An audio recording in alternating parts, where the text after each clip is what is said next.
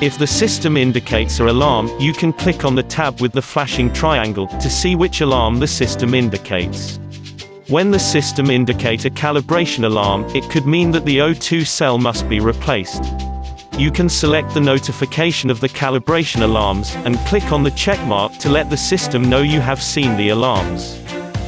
We will now demonstrate how to replace the O2 cell. At first you have to disconnect the plug from the O2 cell.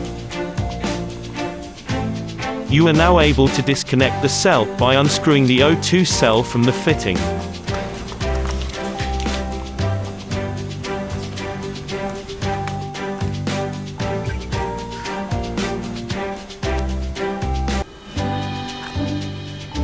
Take a new O2 cell, and connect it by screwing it back on the fitting.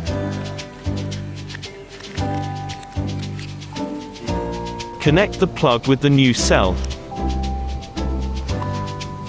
Now you have successfully replaced the O2 cell, you can return to the system's main menu, for the final step.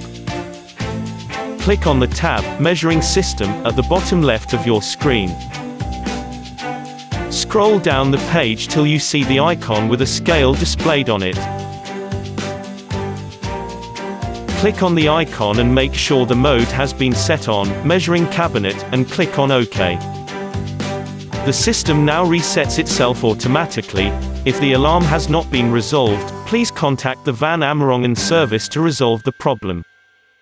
Van Amerongen, innovators, technicians, and producers in C.A. technology.